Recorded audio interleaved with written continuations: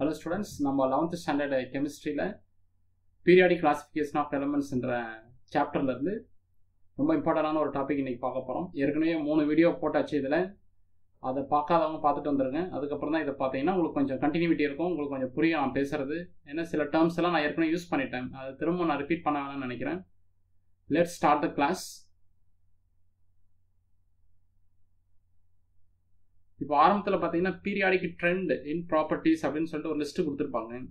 What what is the meaning of a periodicity periodic trend அப்படின்னா என்ன meaning அப்படின்னா for example atomic radius எடுத்துக்கலாம். Atomic radius பார்த்தீங்க அப்படின்னா லெஃப்ட் டு ரைட் பீரியாடிக் டேபிளில் போனோம்னா கொஞ்சம் கொஞ்சமாக அப்படியே சின்னதாகிட்டே போகும். சரியா? ஆரம்பத்தில் பார்த்தீங்கன்னா கொஞ்சம் பெரிய சைஸாக இருக்கும். அப்புறம் சின்ன சின்ன சின்னதாகிட்டே போகும். மேலேருந்து கீழே போகும்போது பார்த்தீங்கன்னா அப்படியே ரிவர்ஸ் சின்னதுலேருந்து பெருசாகிட்டே போகும். ஸோ இந்த மாதிரி ரெகுலராக இன்க்ரீஸ் ஆகணும் இல்லைன்னா ரெகுலராக டிக்ரீஸ் ஆகணும். அதுக்கு பேர் தான் பீரியாடிக் ட்ரெண்டு அப்படின்னு சொல்லணும். ரெகுலராக கொஞ்சம் கொஞ்சமாக மாறிக்கிட்டே வரும். ரெகுலர் இன்டர்வலில் கொஞ்சம் கொஞ்சமாக மாறிட்டே வரக்கூடிய அந்த ப்ராப்பர்ட்டிஸுக்கு பேர் தான் பீரியாடிக் ப்ராப்பர்ட்டிஸ் இல்லை பீரியாடிக் ட்ரெண்ட் அப்படின்னு சொல்லணும். இது எதனால் வருது அப்படின்னா டியூ டு எலக்ட்ரானிக் கான்ஃபிடன்ஸ்னா பேட்டர்ன் சொல்லி நம்ம ஏற்கனவே பார்த்துருக்கோம்.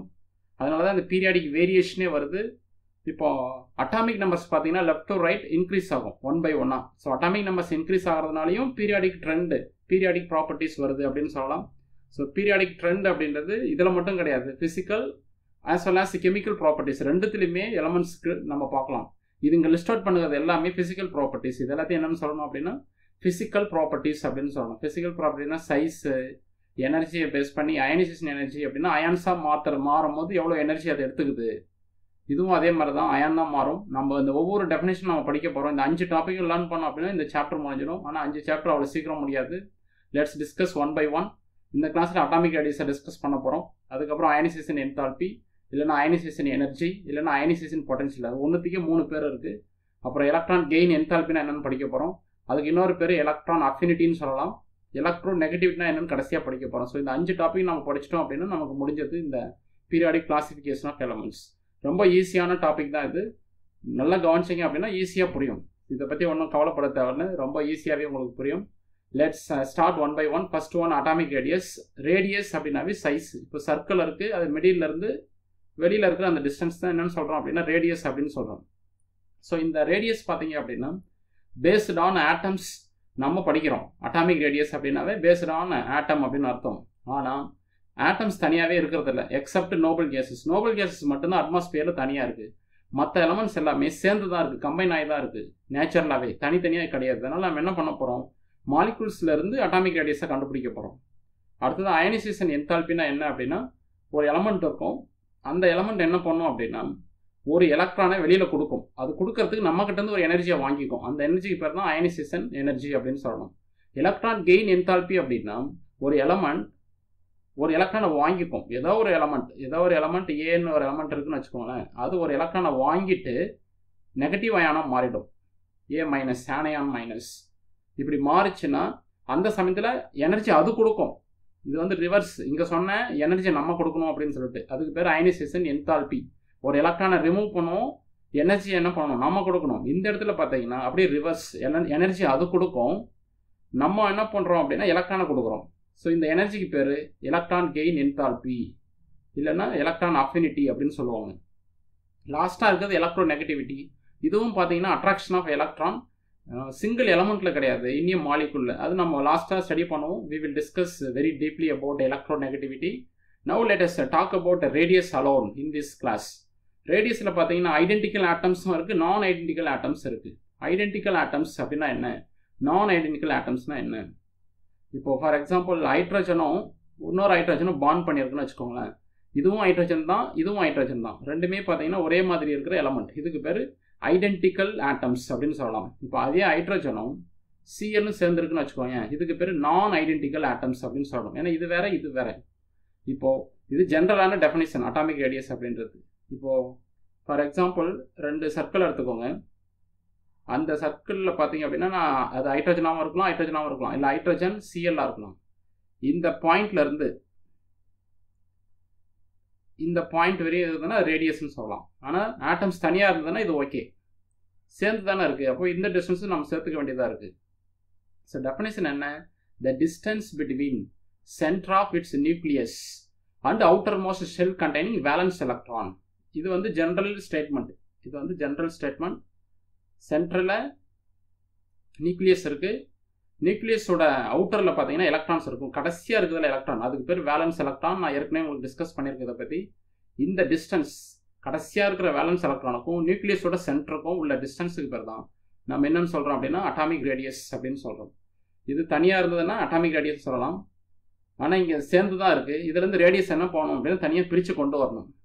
இதை ரெண்டாக டிவைட் பண்ணீங்க அப்படின்னா உங்களுக்கு கிடைச்சிடும் இது ஒரு ரேடியஸ் இது ஒரு ரேடியஸ் ஸோ ரெண்டு ரேடியஸ் சேர்ந்துருக்கு. இது ரெண்டு டிஸ்டன்ஸுக்கு பேர் தான் இன்டர் நியூக்ளியார் டிஸ்டன்ஸ் சொல்லுவாங்க. இது ஒரு நியூக்ளியஸ் இது ஒரு நியூக்ளியஸ் ரெண்டு நியூக்ளியஸுக்கும் இடையில உள்ள டிஸ்டன்ஸுக்கு பேர் இன்டர் நியூக்ளியார் டிஸ்டன்ஸ் அப்படின்னு சொல்லணும். பிட்வீன் தி டூ ஆட்டம்ஸ் அப்படின்னு சொல்லணும். இந்த டெஃபினேஷன் எழுதிட்டு டிஸ்டன்ஸுக்கு என்ன யூஸ்வலாக யூனிட் அப்படின்னு பார்த்தீங்கன்னா பிக்கோமீட்டர் யூஸ் பண்ணுவாங்க. ஏன்னா இது வந்து நம்ம பெரிய மெஷர்மெண்ட் பெருசாக லென்த்தாக மெஷர் பண்ணுறோம் அப்படின்னா கிலோமீட்டர் சொல்லுவோம். ஆனால் இங்கெல்லாம் அப்படி கிடையாது. இது வந்து ரொம்ப ஷார்ட்டாக இருக்கும் டிஸ்டன்ஸ் அதனால தான் பிக்கோமீட்டர் யூஸ் பண்ணுறாங்க இல்லை அப்படின்னா சம்டைம்ஸ் ஆம்ஸ்ட்ராங் யூனிட் கூட யூஸ் பண்ணுவாங்க. இதோட யூனிட் அட்டாமிக் ரேடியஸோட யூனிட் இதுதான். It is difficult to measure the radius of an isolated atom தனியாக இருக்கிற ஒரு ஆட்டத்துக்கு அவ்வளோ சீக்கிரம் உங்களால் என்ன பண்ண முடியாது அப்படின்னா மெஷர் பண்ண முடியாது. அதே மாதிரி நோபல் கேசஸ் எல்லாம் தனியாக தான் இருக்குது நான் சொல்லியிருக்கேன் ஏற்கனவே. நோபல் கேசஸ்னால் ஹீலியம் நியான் ஆர்கான் கிரிப்டான்லாம் இருக்குல்ல. இது எப்போவுமே தனியாக தான் இருக்கும். Helium neon argon krypton xenon இதெல்லாம். இதுக்கு ரேடியஸ் நம்மளால் மெஷர் பண்ணுறது ரொம்ப ரொம்ப கஷ்டம். In order to measure the radius of an atom அந்த internuclear distance is used அதுதான் நான் சொன்னேன். ரெண்டு நியூக்ளியஸுக்கு இடையில உள்ள டிஸ்டன்ஸுக்கு பேர் தான் இன்டர் நியூக்ளியர் டிஸ்டன்ஸ் இதை யூஸ் பண்ணி தான் நம்ம கண்டுபிடிக்க போகிறோம் இங்கே பார்த்தீங்கன்னா நம்ம ஐடென்டிக்கல் ஆட்டம்ஸை பற்றி டிஸ்கஸ் பண்ணுறோம் அதுக்கப்புறம் நான் ஐடென்டிக்கல் ஆட்டம்ஸ் பற்றி டிஸ்கஸ் பண்ண போகிறோம் இப்போ atomic radius referred as covalent radius அப்படின்னு சொல்லுவாங்க. இல்லைனா மெட்டாலிக் ரேடியஸ்னு சொல்லுவாங்க. மெட்டல்ஸ் இருந்துச்சுன்னா மெட்டாலிக் ரேடியஸ் கோவலண்ட் கிறிஸ்டல்ஸ் இருந்துச்சுன்னா கோவலண்ட் ரேடியஸ் கோவலண்ட் ரேடியஸ்னா அதுக்கு என்ன டெஃபினேஷன் நம்ம டெக்ஸ்ட் புக்கில் கொடுத்துருக்காங்க. It is one of of its internuclear distance between two identical atoms linked by a single covalent bond for example இப்போ தான் நம்ம டிஸ்கஸ் பண்ணோம் ஹைட்ரஜன் ரெண்டு ஹைட்ரஜன் எடுத்துக்கிட்டீங்க அப்படின்னா ஒரு ஹைட்ரஜனும் இன்னொரு ஹைட்ரஜனும் பாண்டாக இருக்குது இது ஒரு ஹைட்ரஜன் இது ஒரு ஹைட்ரஜன் ரெண்டுத்துக்குள்ள பாண்டில் பார்த்தீங்கன்னா ரெண்டு எலக்ட்ரான் இருக்கும். இதெல்லாம் நம்ம கெமிக்கல் பாண்டிங் சாப்டரில் திரும்ப படிக்கிறோம். நான் கெமிக்கல் பாண்டிங்கில் சில டாபிக்ஸ் போட்டிருக்கேன். அதை பாருங்கள் what are the types of chemical bonding சொல்லிட்டு அதில் ஒரு டைப் தான் covalent bond so covalent bond அப்படின்னா என்னென்னு தெரிஞ்சுட்டு வாங்க. அந்த வீடியோவை பாருங்கள் அப்போ உங்களுக்கு இது ஈஸியாக புரியும். ரெண்டுமே ஆளுக்கு ஒரு எலக்ட்ரானை கொடுத்து பாண்ட் பண்ணியிருந்தாங்க அப்படின்னா அதுக்கு பேர் covalent bond mutual sharing of electrons are called covalent bond mutual sharing of electrons is known as covalent bond சொல்லணும் இது இதுக்கு இந்த காம்பவுண்ட்ஸுக்கு பேர் கோவலண்ட் காம்பவுண்ட்ஸ் கோவலண்ட் மாலிகுல்ஸ் அப்படின்னு சொல்லலாம். இங்கே இருக்கிற டிஸ்டன்ஸுக்கு பேர் கோவலண்ட் ரேடியஸ் அவ்வளோதான் it is one of of the internuclear distance between two identical atoms so இது வந்து ஐடென்டிக்கல் ஆட்டம்ஸாக இருந்ததுன்னா இப்போ நான் ஒரு ஃபார்முலா கொடுப்பேன். அந்த ஃபார்முலா வச்சு நம்ம கண்டுபிடிக்கலாம். இந்த இன்டர்நியூக்ளியர் டிஸ்டன்ஸை எப்படி மெஷர் பண்ணுறாங்க அப்படின்னா by using x ray diffraction x ray diffraction pattern மூலிமா கண்டுபிடிக்கிறாங்க. So internuclear distance always measured by the help of x ray diffraction pattern x ray டைஃப்ராக்ஷனை use பண்ணி தான் நிறைய விஷயத்த நம்ம லேர்ன் பண்ணுறோம் கிறிஸ்டல்ஸோட ஸ்டடீஸ் எல்லாம் நிறைய பண்ணுறோம் இது ரொம்ப முக்கியமான ஒரு விஷயம். ஒன் மார்க்கில் கேட்பாங்க. எதை யூஸ் பண்ணி இன்டர்நியூக்ளியர் டிஸ்டன்ஸை மெஷர் பண்ண முடியும் அப்படின்னு சொல்லிட்டு. ஒரு எக்ஸாம்பிள் கொடுத்துருக்காங்க நம்ம டெக்ஸ்ட் புக்கில் குளோரினுடைய இன்டர்நியூக்ளியர் டிஸ்டன்ஸ் ரெண்டு சிஎல் ஆட்டம் இருக்குல்ல. ரெண்டு சிஎல் ஆட்டம் அதனுடைய இன்டர்நியூக்ளியர் டிஸ்டன்ஸ் கொடுத்துருக்காங்க. இதை எப்படி படிக்கணும் அப்படின்னா internuclear distance between C L and C L அப்படின்னு படிக்கணும். One point nine eight angstrom அப்படின்னு கொடுத்துருக்காங்க. இதை வந்து ஒன் நைன்டி எயிட் பிகோமீட்டர் அப்படின்னு எழுதலாம். That is equal to radius of C L and radius of C L இது ஒரு சிஎல் இது ஒரு சிஎல் ஸோ ரெண்டு சிஎல் இருக்குது ரெண்டு சிஎலுக்கு ரெண்டு ரேடியஸ் இருக்கும். இந்த ரேடியஸ் இந்த ரேடியஸ் ரெண்டையும் ஆட் பண்ணீங்க அப்படின்னா distance between C L and C L கிடைச்சிடும். அதுக்கு பார்த்தா தான் இன்டர் நியூக்ளியர் டிஸ்டன்ஸ் அப்படின்னு சொல்கிறோம் இந்த ரெண்டு டிஸ்டன்ஸை தான் இன்டர் நியூக்ளியர் டிஸ்டன்ஸ் சொல்கிறோம் அதனுடைய வேல்யூ தான் ஒன் பாயிண்ட் நைன் எயிட்னு கொடுத்துருக்காங்க. இதை சிம்பிளாக டூவால் டிவைட் பண்ணால் வந்துடும் ஸோ இதை ஃபார்மேட்டில் எழுதி ஒரு ஃபார்முலா மாதிரி கொண்டு வந்து அதுக்கப்புறம் நீங்கள் என்ன பண்ணலாம்? Two times radius uh, of C L இருக்குது இங்கே இங்கே ஒரு ரேடியஸ் ஆஃப் சிஎல் இருக்குது இங்கே ஒரு ரேடியஸ் ஆஃப் சிஎல் இருக்குது ரெண்டையும் ஆட் பண்ணீங்க அப்படின்னா two times radius of C L இருக்குது எனக்கு ரேடியஸ் ஆஃப் சிஎல் தான் வேணும். அப்போ என்ன செய்யணும்? இந்த டூ அந்த சைடு கொண்டு போங்க. ஸோ டிவைடட் பை டூ இதனுடைய வேல்யூ பார்த்தீங்கன்னா ஒன் பாயிண்ட் நைன் எயிட்னு கொடுத்துருக்காங்க. So divide by two you will get a point nine nine angstrom unit அதுதான் உங்களுக்கு ஆன்சராக கிடைக்கும். இது வந்து ரேடியஸ் ஆஃப் சிஎல் இதுக்கு பேர் ஐடென்டிக்கல் ஆட்டம்ஸ் ரெண்டுமே சிஎல் சிஎல் அப்படின்னா ஐடென்டிக்கல் ஆட்டம்ஸ் இப்போ நான் ஐடென்டிக்கல் ஆட்டம்ஸும் இருக்குது அதை வச்சு நம்ம லேர்ன் பண்ணலாம். இன்னொரு விஷயம் இங்கே நீங்கள் என்ன புரிஞ்சுக்கணும் அப்படின்னா இப்போ நம்ம டிஸ்கஸ் பண்ணுறது கோவலண்ட் ரேடியஸ் இல்லையா? கோவலண்ட் பாண்ட் அப்படின்றது எப்படி ஃபார்ம் ஆகுது அப்படின்னா ஓவர்லேப்பிங் ஆஃப் அட்டாமிக் ஆர்பிட்டால்ஸ் இது எல்லாமே கெமிக்கல் பாண்டிங்கில் இருக்குது அட்டாமிக் ஆர்பிட்டால்ஸ்னால் என்ன? ஓவர்லேப்பிங்னா என்ன? இந்த வார்த்தைக்கு மீனிங் ஓவர் லேப்பிங் அப்படின்னா என்ன மீனிங்னா ஒரு ஆர்பிட்டாலும் இன்னொரு ஆர்பிட்டாலும் கம்பைன் ஆகுது இது நீங்கள் கெமிக்கல் பாண்டிங் சாப்டரில் நல்லா லேர்ன் பண்ணுவீங்க. வாட் இஸ் ஓவர் லேப்பிங் அப்படின்னு சொல்லிட்டு. அங்கே உங்களுக்கு புரியும். ஒரு ஆர்பிட்டாலும் இன்னொரு ஆர்பிட்டாலும் கம்பைன் ஆச்சு அப்படின்னா அந்த ப்ராசஸுக்கு பேர் தான் ஓவர் லேப்பிங் அப்படின்னு சொல்லணும். இல்லைன்னா ஹைப்ரடைசேஷன் அப்படின்னு ஒரு நேம் இருக்குது ஸோ கெமிக்கல் பாண்டிங் சாப்டரில் வால்யூம் டூவில் நல்லா டீப்பாக லேர்ன் பண்ணலாம். இங்கே கோவலண்ட் பாண்ட்ஸ் ஃபார்ம் பண்ணும்போது ரேடியஸ் பார்த்தீங்கன்னா நம்ம மெஷர் பண்ணுறத விட கொஞ்சம் ஷார்ட்டாக தான் இருக்கும். அதுதான் இங்கே நான் சொல்ல வரேன் உங்களுக்கு. இந்த covalent radius is always shorter than actual atomic radius நாம் மெஷர் பண்ணுறது ஒரு ரேடியஸு ஆனால் இதை விட கம்மியாக தான் இருக்கும். பாயிண்ட் நைன் ஒன் கூட இருக்கலாம் maybe between C L and C L பார்த்தீங்கன்னா இன்னும் கம்மியாக இருக்கும். ஸோ ரேடியஸ் ஆஃப் குளோரினும் கம்மியாக தான் வரும். அதை தான் நான் சொல்ல வரணும். Atomic radius for covalent crystals இந்த கோவலண்ட் மாலிகூல்ஸுக்கு நம்ம மெஷர் பண்ணுறத விட எப்போவுமே கொஞ்சம் கம்மியாக தான் இருக்கும். இது ஒரு ஒன் மார்க் கொஷனில் கூட வரலாம். சரியா?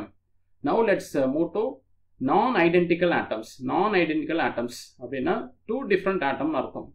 நான் சொன்னல முதல்ல ஒரு எக்ஸாம்பிள் ஹெச்யூ சிஎலும் சேர்ந்துருக்கு. ஹெச்சிசிஎல் இது நான் ஐடென்டிக்கல் ஆட்டம்ஸ்க்கு ஒரு எக்ஸாம்பிள் ஹெட்டிரோ நியூக்ளியார் அப்படின்னு சொல்லலாம். முன்ன பார்த்தது ஹோமோ நியூக்ளியர் ஹோமோனா ரெண்டுமே same hydrogen hydrogen homo nuclear இப்போ பார்த்தீங்கன்னா ஹைட்ரஜன் சிஎல் இருக்குது ஹெட்டிரோ நியூக்ளியர் சொல்லணும். இதுக்கு எப்படி ஃபார்மாக எழுதுறது? அது ரெண்டு சயின்டிஸ்ட் கொடுத்துருக்காங்க. ஷூ மேக்கர் அண்ட் ஸ்டீவன்ஷன் அப்படின்னு சொல்லிட்டு அவங்க என்ன சொல்கிறாங்கன்னா distance between A and B ஏன்னா ரெண்டு டிஃப்ரெண்ட் ஆட்டம் இருக்குல்ல. Radius of A plus radius of B minus zero point zero nine into X A minus X B இங்கே எக்ஸ்ஏ எக்ஸ்பி அப்படின்னா என்ன அப்படின்னா electronegativity what is electro நெகட்டிவிட்டின்னு சொல்லிட்டு நம்ம கடைசியாக படிக்க போகிறோம் இது ரொம்ப முக்கியமான டாபிக் எலக்ட்ரோ நெகட்டிவிட்டி அப்படின்றது. எல்லா எலமெண்ட்ஸுக்கும் இது இருக்குது எலக்ட்ரோ நெகட்டிவிட்டின்னு சொல்லிட்டு ஒன்று அது நம்ம லாஸ்ட்டாக லேர்ன் பண்ணுவோம். லாஸ்ட் டாபிக் அதுதான். அப்போ உங்களுக்கு நான் டீப்பாக அதை எக்ஸ்பிளைன் பண்ணுறேன் now let us write what are the terms we are used in this expression இவங்க சொன்ன இந்த எக்ஸ்பிரஷனில் என்னென்ன டேர்ம்ஸ் நம்ம யூஸ் பண்ணியிருக்கோம் அப்படின்னா distance between atom A and B அப்புறம் radius of A radius of B இது electronegativities of A and B ரேடியஸ்ன்னு சொன்னால் யூனிட் எப்போவுமே அம்ஸ்ட்ராங் யூனிட் தான். அதை எப்போவுமே மறந்துடக்கூடாது. ஸோ அதை தான் வேறுனு சொல்லிட்டு நீங்கள் வரிசையாக எழுதணும். Internuclear distance between two different atoms அப்புறம் ரேடியஸ் ஆஃப் ஆட்டம் ஏ அப்புறம் ரேடியஸ் ஆஃப் ஆட்டம் பி எல்லாமே ஆம்ஸ்ட்ராங் யூனிட்டில் இருக்கணும். எக்ஸ்ஏனா எலக்ட்ரோ நெகட்டிவிட்டி ஆஃப் ஆட்டம் ஏன்னு சொல்லணும். அடுத்து எக்ஸ்பின்னா எலக்ட்ரோ நெகட்டிவிட்டி ஆஃப் ஆட்டம் பின்னு சொல்லணும். இங்கே ஒரு முக்கியமான விஷயம் என்ன அப்படின்னா ஏதாவது ஒரு ஆட்டம் அது எக்ஸ்ஏஓ எக்ஸ்பிஓ ஏதாவது ஒன்றுக்கு எலக்ட்ரோ நெகட்டிவிட்டி கிரேட்டராக இருக்கணும். இது ஒரு கண்டிஷன் மாதிரி. இது இந்த கண்டிஷனை ஒபே பண்ணால் தான் இந்த ஃபார்முலாவை யூஸ் பண்ண முடியும். சப்போஸ் எலக்ட்ரோ நெகட்டிவ் ரெண்டுத்துக்குமே ஈக்குவலாக இருக்குது அப்படின்னா கண்டிப்பாக இந்த ஃபார்முலா யூஸ் பண்ணக்கூடாது. ஏன்னா அது கோவலண்ட் மாலிகூல்ஸாக மாறிடும். இந்த மாதிரி ஈக்குவலாக இருந்துச்சுன்னா. ஈக்குவலாக இருக்கக்கூடாது. That is a condition for example let's calculate internuclear distance between H C L is given one point two eight angstrom யூனிட்னு கொடுத்துருக்காங்க. இதை வச்சு நான் என்ன பண்ண போகிறேன் அந்த ஃபார்முலாவை யூஸ் பண்ணி கேல்குலேட் பண்ணலாம். நமக்கு குளோரினுடைய ரேடியஸ் ஏற்கனவே கண்டுபிடிச்சிருக்கோம் இல்லையா ஆரம்பத்தில்? Point nine nine angstrom unit அதை யூஸ் பண்ணி இதை சப்ஸ்ட் பண்ணுவோம். எலக்ட்ரோ நெகட்டிவிட்டி ப்ராப்ளத்தில் கொடுத்துருவாங்க. குளோரினுக்கு பார்த்தீங்கன்னா த்ரீ ஹைட்ரஜனுக்கு பார்த்தீங்கன்னா டூ பாயிண்ட் ஒன் ஸோ இதை ரெண்டையும் யூஸ் பண்ணி நம்ம இந்த ஃபார்முலாவை சப்ஸ்ட் பண்ணுவோம்.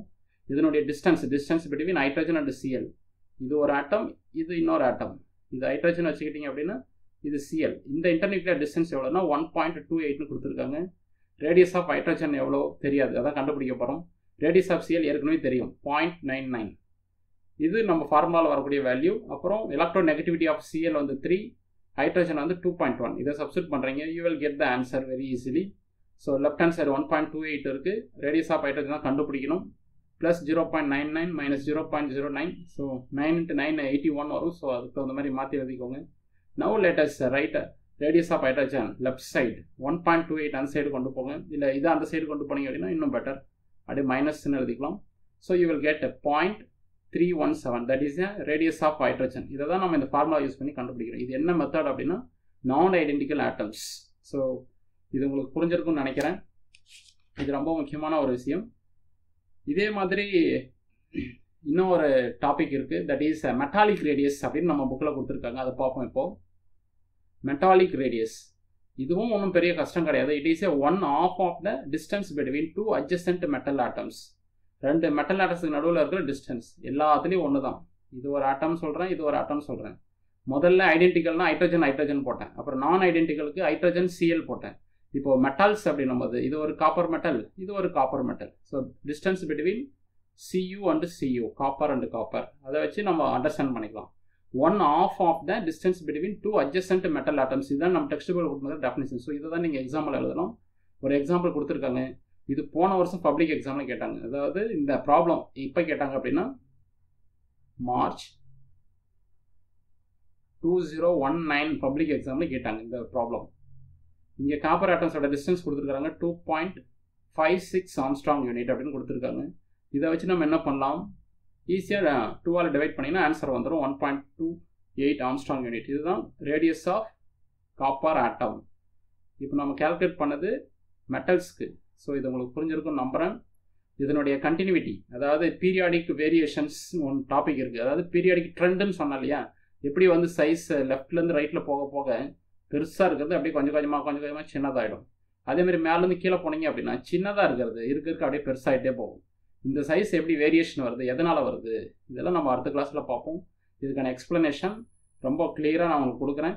You will get all the answers இந்த next class thank you children புதுசாக யாராவது பார்த்துட்டு இருந்தீங்கன்னா சப்ஸ்கிரைப் பண்ணிக்கோங்க.